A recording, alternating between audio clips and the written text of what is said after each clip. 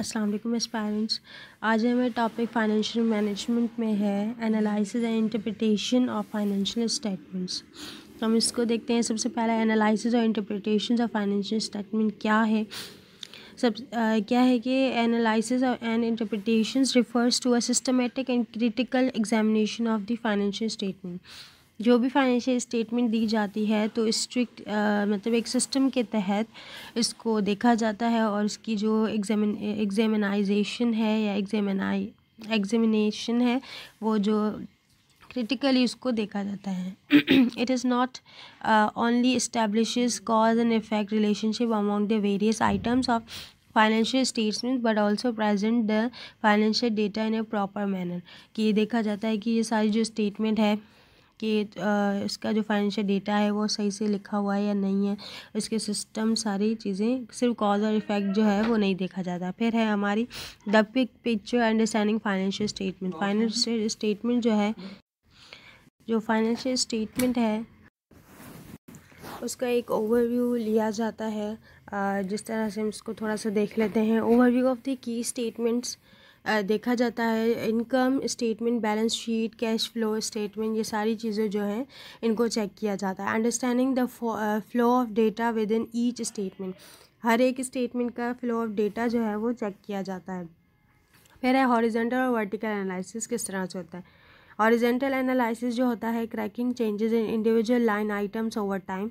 Time के हिसाब से जो है, एक इंडिविजुअल लाइन के तहत आइटम्स चेक किए जाते हैं। फिर वर्टिकल एनालिसिस क्या होता है?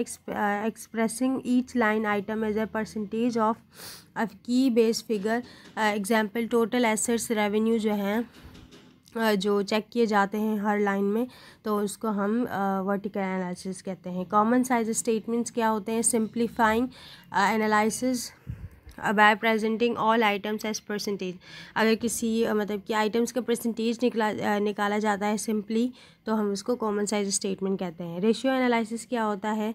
लिक्विडिटी रेशियोज होते हैं, एक एक सॉल्वेंसी रेशियोज होते हैं, एक प्रॉफिटेबिलिटी रेशियोज होते हैं और एफिशिएंसी रेशियोज होते हैं। लिक्विडिटी रेशियोज क्या होते हैं? Assessing short term debt repayment ability जहाँ चेक की जाती है, वो लिक्विड लिक्विडिटी रेशियोज़ होते हैं सॉल्वेंसी रेशियोज़ क्या होते हैं measures long term financial health health check की जाती है किसी भी कंपनी की अगर हम देखें तो तो वो सॉल्वेंसी होती है, फिर है प्रॉफिटेबिलिटी नाम से ही हो रहा है कि एफिशिएंसी और रिटर्न ऑन इन्वेस्टमेंट जो हमें प्रॉफिट होता है किसी भी कंपनी की, अगर मैं हमें भी कहती हूँ मतलब कि हम किसी कंपनी की बात कर रहे हैं।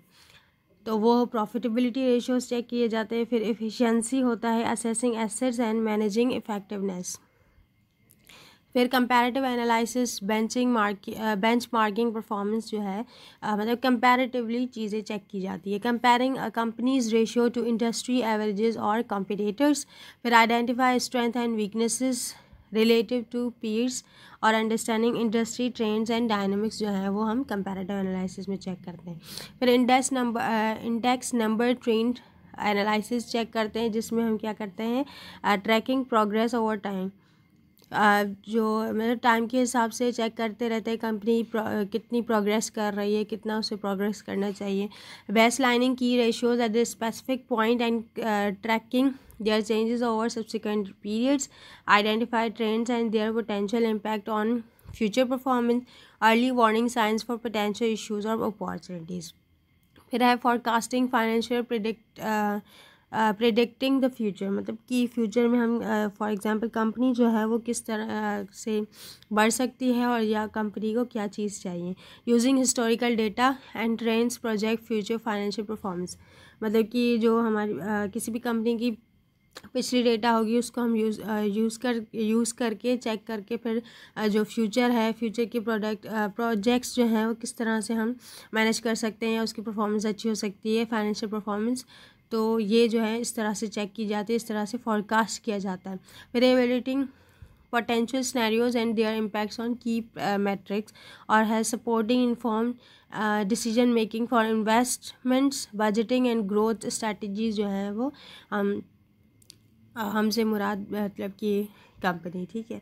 फिर है हम evaluating credit worthiness and risk किस तरह से रिस्क जो है उसको एवेलिएट किया जाता है या क्रेडिट वर्थीनेस को चेक किया जाता है? Utilisation utilising financial ratios and analysis to assess the creditworthiness of borrowers identify potential financial risk associated with investment और बिज़नेस पार्टनर्स फिर है मेकिंग इन्फॉर्म लैंडिंग और इन्वेस्टमेंट डिसीजंस तो ये सारी जो चीज़ें हैं कि फाइनेंशियल रेशियोज़ को यूटिलाइज़ करके और जो पोटेंशियल फाइनेंशियल रिस्क है उनको आइडेंटिफाई करके और जो इन्वेस्टमेंट डिसीजंस है उनको चेक करके जो रिस्क है वो इवेलिएट किया जाता है। फिर है असेसिंग मैनेजमेंट इफ़ेक्टिवनेस मैनेजमेंट की इफ़ेक्टिवनेस किस तरह से असेस की जाएगी analysing trends in profitability trends को देखा जाएगा कि कहाँ पे प्रॉफिट हो रहा है और एफिशिएंसी कहाँ पे है रेट ऑन इंटरेस्ट इन्वेस्टमेंट जो है, किस,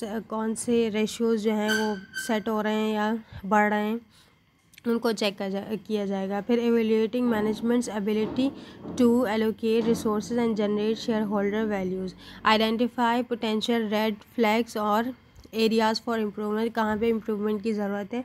तो मैनेजमेंट जो है, वह ऐसे ही असेस करती है कि इफ़ेक्टिवनेस कहाँ पे बढ़ी है।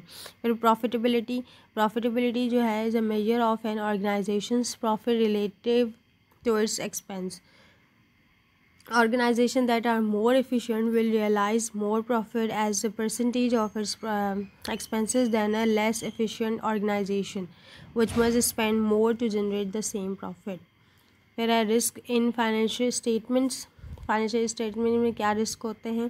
They are number of risk that effect the financial accuracy reliability और financial statement there are risk categorise into two types एक होता है इनहेरेंट रिस्क और दूसरा होता है control risk if the auditor concludes that the risk of material misstatement is high then may perform additional audit procedure such as increasing sample size of transaction that are tested performing more uh, detailed testing of internal controls confirming balance with third party providers.